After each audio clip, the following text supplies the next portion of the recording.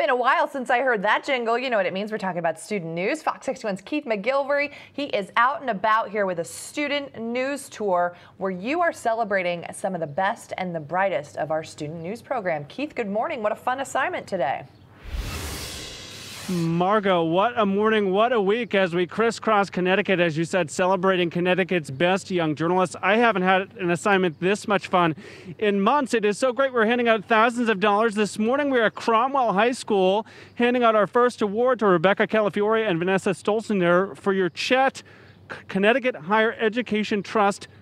A thousand bucks. Well job, ladies. Well job well done. These masks are crazy. Rebecca, talk to me about your story. What was it all about? Basically, we did a story about um, better ways that students and families can afford um, college and saving money for college. So obviously, CHET was something that was really known around Connecticut. So we wanted to just take that into a bigger story and make a video about it with the help of our teachers. So I know Vanessa, both of you off to higher ed. Why was it important for you to tackle the topic? Um, it's actually funny because like before the whole COVID situation, like we were doing this, like, and now so much has changed for people. But we just wanted to do it because, like, we saw that, like, we were like witnessing what all our friends were like going through all the decisions we had to make, and financial situations impact a lot of those decisions. So we just wanted to like look more into it, inform people, and see where we could take it. And we're just proud of like what we made with it. We are proud of you as well. I know you did a lot of the on-camera work. What did you take away from the student news experience?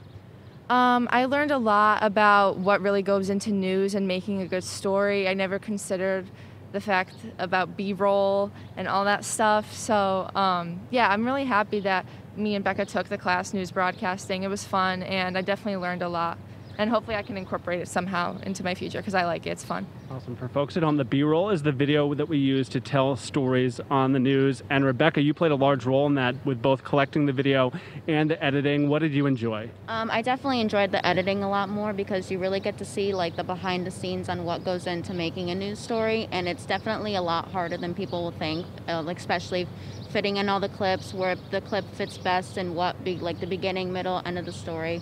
So that was definitely a little challenging, but it was fun, especially with the help of my teachers. So. Anyone, and to that point, I was going to ask, uh, you're going home, you're sharing a thousand bucks this morning. Anyone you want to thank for this opportunity?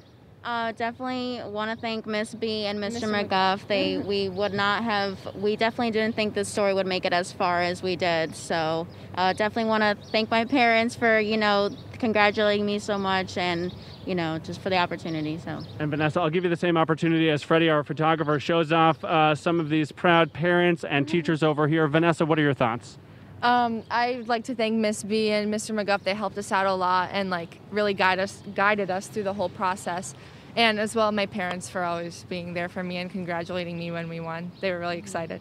Well, they should be very excited and I'm sure very proud. Any advice for a Cromwell High School, a powerhouse in the student news uh, program? Any advice to a school that might be just getting off the ground?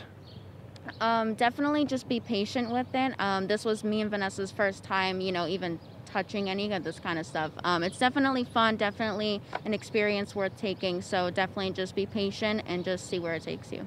All right, Vanessa and Rebecca, on behalf of all the journalists at Fox 61, congratulations to the two of you. Best of luck in your next year. I'll take this off for just a second to let you know the excitement continuing all morning long, Margot. We're handing out a total of $6,000 this morning. You are going to meet more incredible young journalists coming up in our next hour. But for now, live at Cromwell High School with a lot of money to give out this morning, I'm Keith McGilvery, Fox 61 News.